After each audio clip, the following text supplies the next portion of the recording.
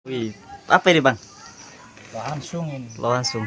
tapi jenisnya bukan langsung pucuk merah Oh. langsung lokal biasa ini hmm.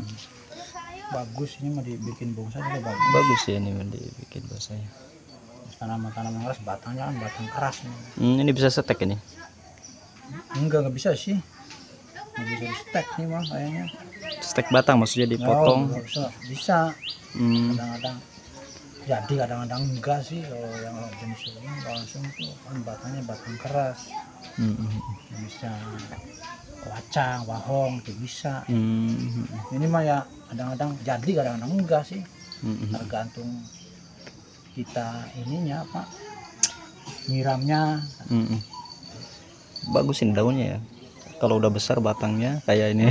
kayak santigi hampir mirip. besar Da- kayak daun. sama sih hampir hampir kayak santigi. Jenisnya ini mah daunnya daun keras Hmm. banyak sih banyak tapi ya kebanyakan kalau di sini mah ya tanaman di pekarangan nggak dibikin begini bonsai Hmm. hmm, Nah, ini mah masih bahan Iya, iya. Siap Bang Iin, terima kasih atas waktunya. Sukses selalu buat Bang Iin.